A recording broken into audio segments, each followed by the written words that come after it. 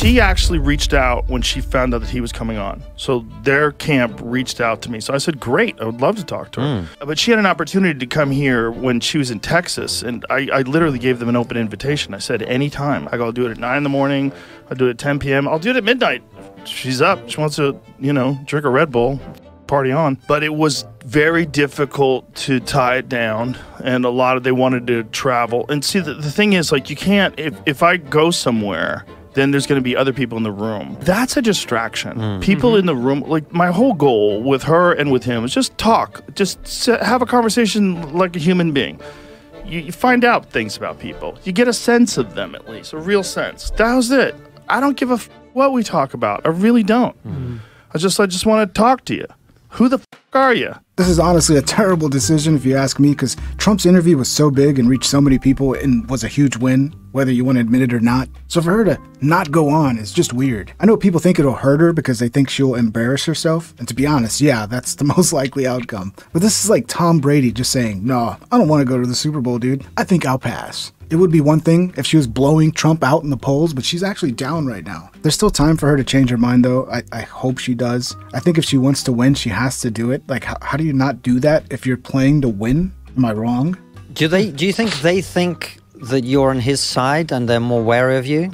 I don't know. I mean, there's uh, just because of my appearance, there's always been this assumption that I'm some right wing MAGA guy. I'm a politically homeless person for sure. You know, I always considered myself a, a left wing person. I never thought I would ever vote right wing. Ah, gotcha. Did Joe just admit he's voting for Trump? He might have just let it slip right there.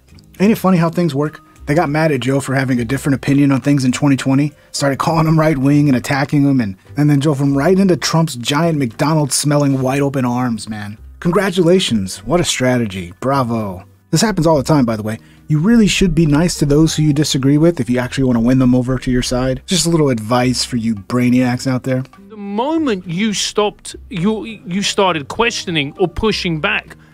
It was the moment you just found yourself exiled from the group, and it it just seemed that what I fell in love with at one point in my life no longer existed. Yeah, because it's bullshit.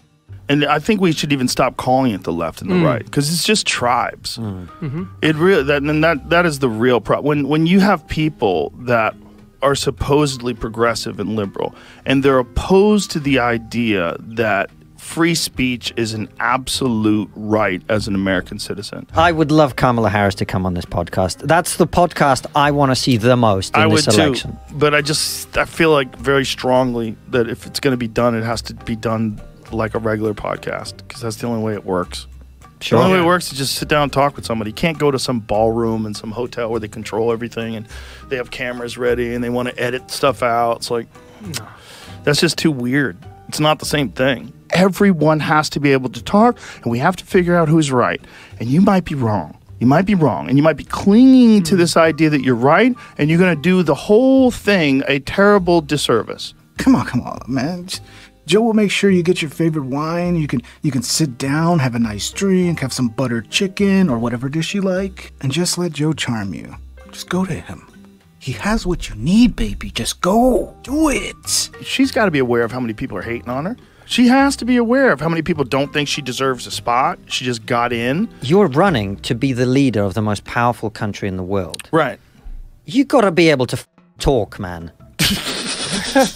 If We don't even say this because it's so obvious, but but you got to be able to communicate. And by having no primary and having her just go right through, and then keeping RFK Jr. away from Biden even before that, like this does not give a lot of people faith that you are following the ideals that this country was founded on. You're going to be sitting across from Xi Jinping Yeah. and Vladimir Putin. right. If you can't f- talk, Right.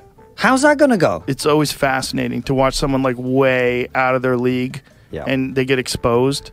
But that same person could be doing a softball interview and they look like a wizard. They look like a mm. genius because they already have their predetermined answers to questions that have already been presented to them. So they prepare. And that's essentially what you've been getting a lot with Kamala Harris. You've been getting a lot of this prepared stuff. Mm. You know, uh, well, I was born in a middle class family, and then mm. she has this thing that she's going to say. And Kamala Harris was saying defund the police. Totally. defunding the police. Are you out of your f***ing mind? Do you you don't know jack shit about police work? Wow, after going off like that, I really doubt Kamala is going to come on the show now. I wonder how long before they start pulling up old dirt on Joe. And you just know the you know what word edit starts getting pushed around again and getting shared by all these lefties. I have a feeling if they don't do a pod together, this could get ugly. And we could start seeing both sides attacking each other. As of recording this, I haven't heard anything from Kamala yet, but I bet that changes soon. I think there's a chance if she actually removes that bullshit political cringe acting facade that her and Hillary Clinton and all these weird politician types always have on and just relaxes with Rogan and we get to see her real self in there. It could be a huge win for her. Well, at least we got the JD Vance interview to look forward to. We actually recorded an episode of Joe Rogan this morning, so we. Oh, hi Tulsi. uh, how you doing? How long was it, JD? Oh, it was long, all right. It was real long. Sorry, sorry, sorry. I'm back. I'm back. Okay, where were we? How long were you in Rogan? Al- almost studio? four hours. Almost four hours. So, I've I've officially done more interview time than Kamala Harris has the entire campaign just today. So, I'd love for you to have Trump and Harris in here. Mm-hmm. That'd be interesting. Well, that's what I said to him. I said, uh, what really should be the two of you sit down and have a conversation for as long as it takes. Right. Just no, no moderator, no one there. no, no, not even a moderator. Not I you. don't think I don't think I need to be in the way. It would be hilarious. That would just be to a- watch the that would be a bloodbath. How long would it take? Like, what are you? Okay, how are you going to fix the economy? How are you going to fix the economy? Like, I want to do this. That was my idea. no time limit. no time No, limit. like the UFC back in the day, yeah. right? Now imagine if you got both of them on. Hell, if he got at least Kamala on, I could make a fire parody with the two episodes, like mashing them together. But that'll never happen. It would be too amazing if Kamala and Joe were on the same Rogan episode. Like the world couldn't handle it, dude. People would die. Imagine the views though in an episode like that. Wow, that would be like biggest episode ever.